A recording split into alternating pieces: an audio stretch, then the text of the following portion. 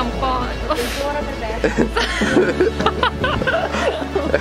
La mia colonna.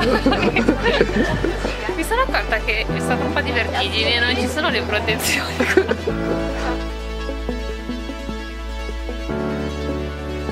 Lui è mio cugino. Buongiorno. Piacere.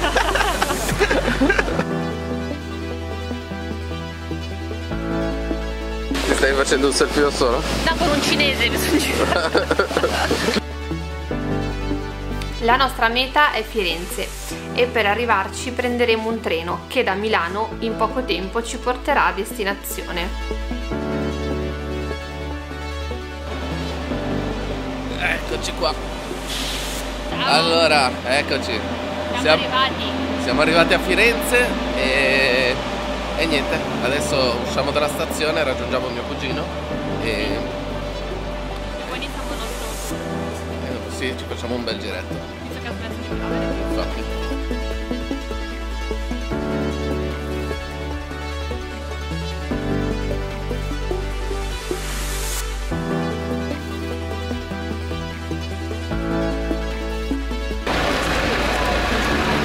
La prima tappa è la chiesa di Santa Maria Novella, ma neanche il tempo di arrivare e ci ritroviamo sotto ad un acquazzone.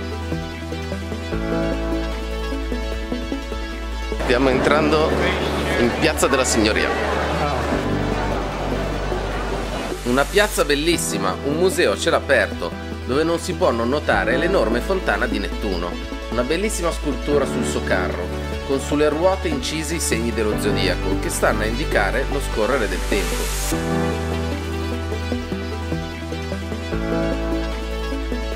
Di fianco al Nettuno troviamo Palazzo Vecchio, il centro della città, dove oggi abbiamo il comune di Firenze. Nel suo esterno si notano gli stemmi fiorentini che lo caratterizzano.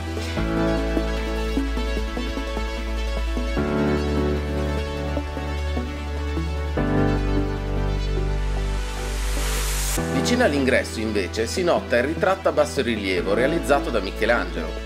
La leggenda narra che Michelangelo, annoiato dai discorsi di un suo concittadino che continuava a fermarlo, decise di ritrarlo, un po' per schernirlo.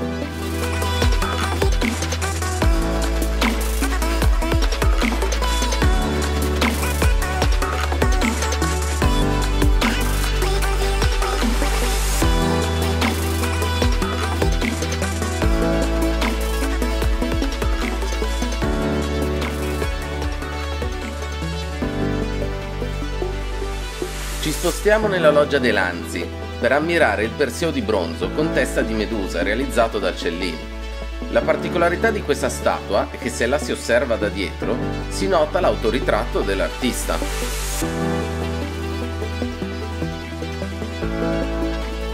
Stiamo attraversando via dei calzaiuoli, che è una delle vie centrali, piena di negozi, firmati e quant'altro.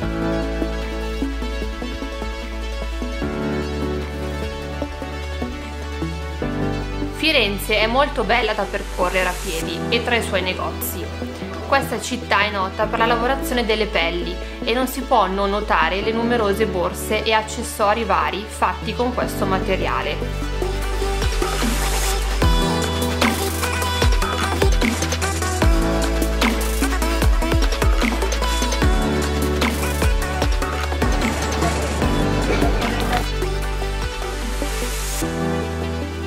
Durante la nostra passeggiata facciamo anche una breve sosta alla fontana del Porcellino, che dicono porti fortuna se si inserisce una moneta all'interno della sua bocca e la si lascia cadere giù nel pozzo.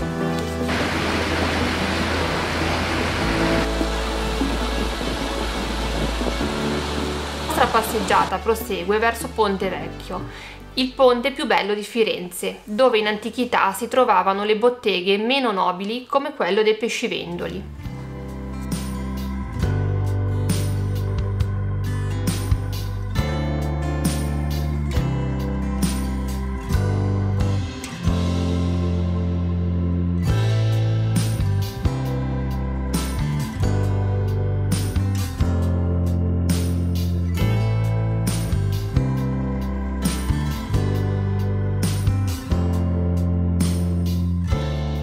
Pomeriggio lo concludiamo ammirando il panorama di Firenze dal punto più alto della città, l'abbazia di San Miniato al monte, da dove si vede l'intera città.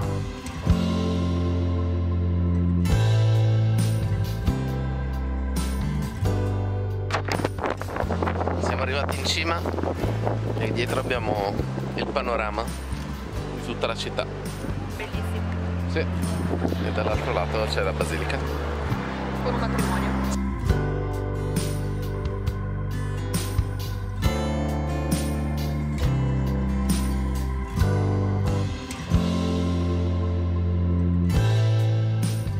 Per la nostra prima sera decidiamo di passarla fuori Firenze, in un paesino di nome Pontassive, dove troviamo una graziosa festa in puro stile toscano, con tanta musica, persone allegre e buonissimo cibo. Arrivata sera, la giornata arriva quasi alla fine, ma prima cena. Ovvio. non poteva mancare. Non poteva mancare.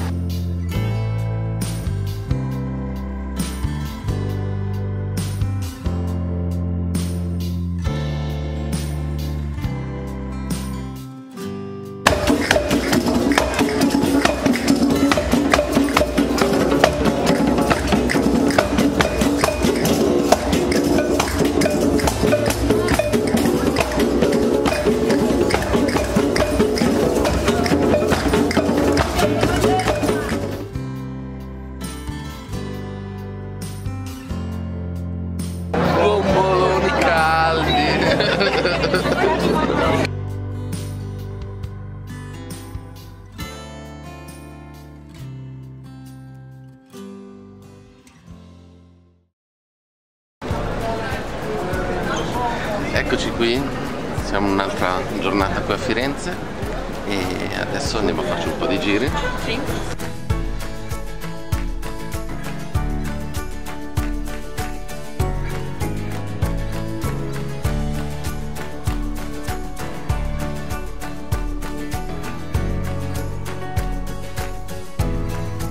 Si riparte con un'altra giornata a spasso per Firenze e decidiamo di iniziare dalla Torre di Giotto, uno stupendo campanile che spicca nella città con le sue ricche decorazioni che raccontano la storia della redenzione.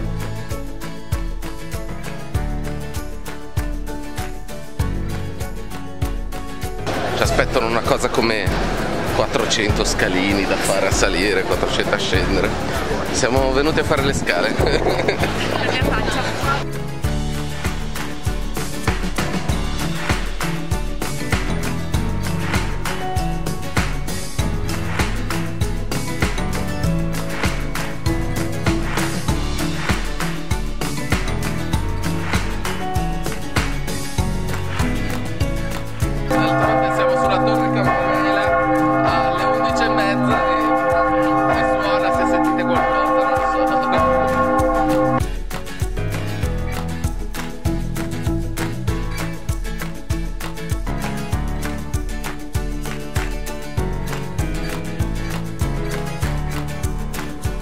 Dalla torre passiamo vicino al battistero, dove ammiriamo le magnifiche porte dorate.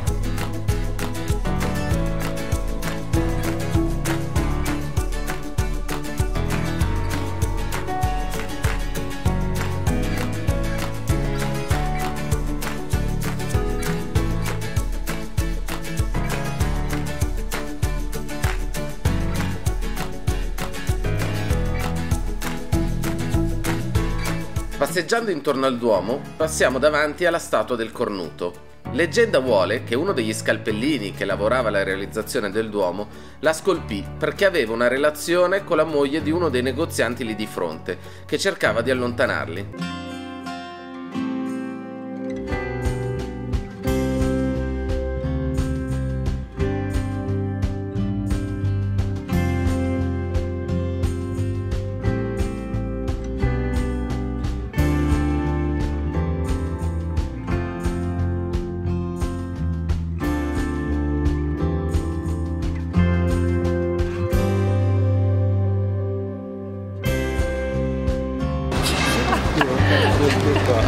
Siamo alla moda e siamo tre verdoni in tre gradazioni diverse tra l'altro. Non l'abbiamo fatto apposta, giuriamo.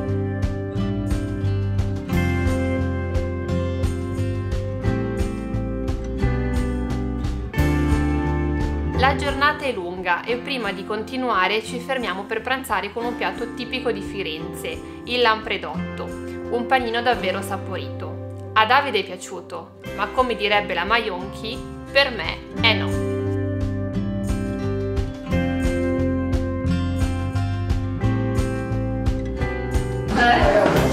Altri 400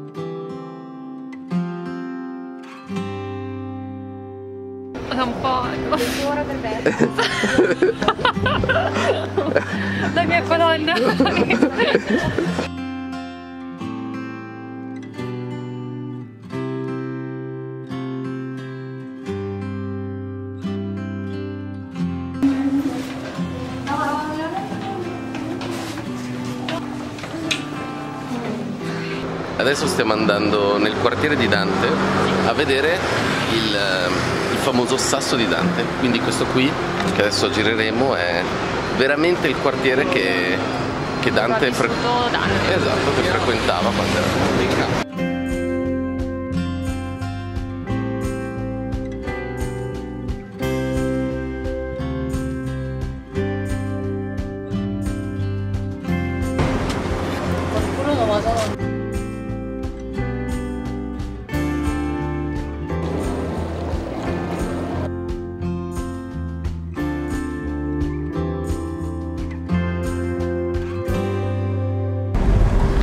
Eccoci qua, siamo ancora in viaggio. Siamo passati da casa, ci siamo fatti tutti e tre una bella doccetta e adesso andiamo a Cirafuori in una trattoria tipica fiorentina. A base di rigorosamente carne. Eh già.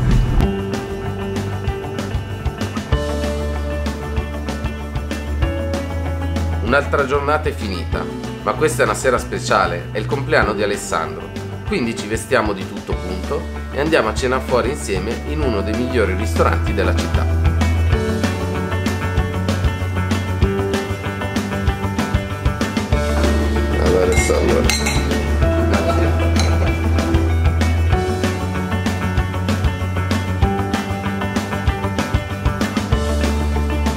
Store.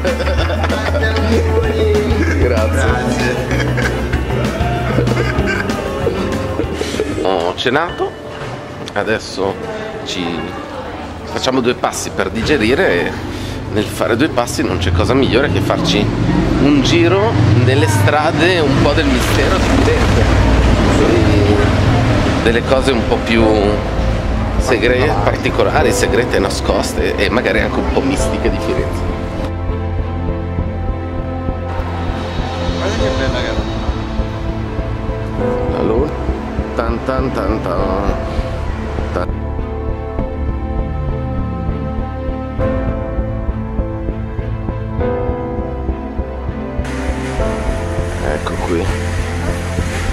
Vera mosca.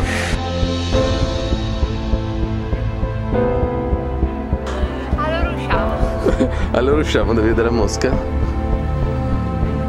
Stiamo andando alla Fiorita, in piazza della Signoria. Qua invece ci troviamo alla Fiorita, il luogo dove venne messo a rogo Girolamo Savonarola, un moralizzatore che si era accanito contro il lusso sfrenato dei medici e per questo venne messo a rogo.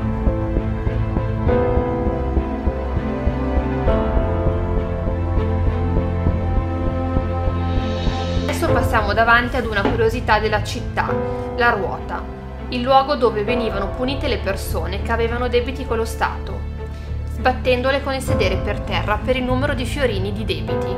Nasce da qui il modo di dire rimanere con il culo per terra.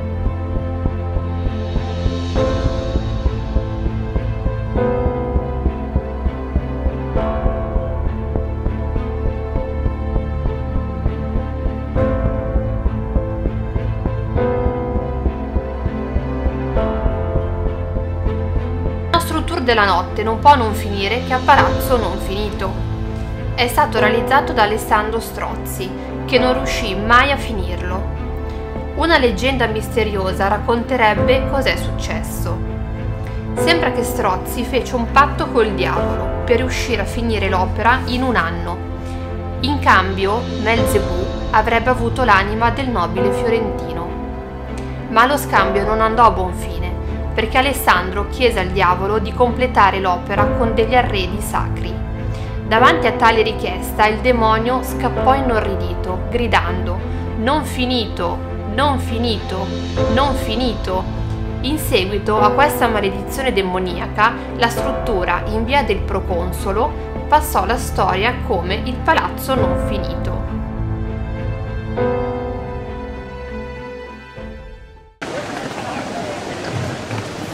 Per il nostro ultimo giorno dedichiamo tutta la mattina a percorrere le magnifiche sale della Galleria degli Uffizi per ammirare le stupende opere che sono esposte, un giro molto lungo ma che ne vale proprio la pena.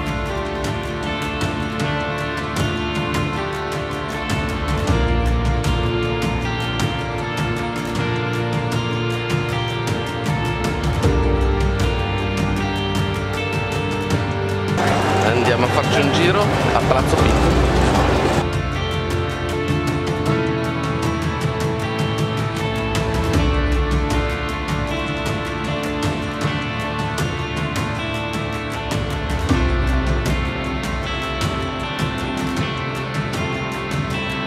Per il pomeriggio concludiamo il nostro tour di Firenze con il magnifico Palazzo Pitti e i magnifici giardini che lo circondano, prendendoci il tempo di una penichella sul suo prato, prima di dirigerci alla stazione e di ritornare a Milano. Scendo in giardino, arrivo.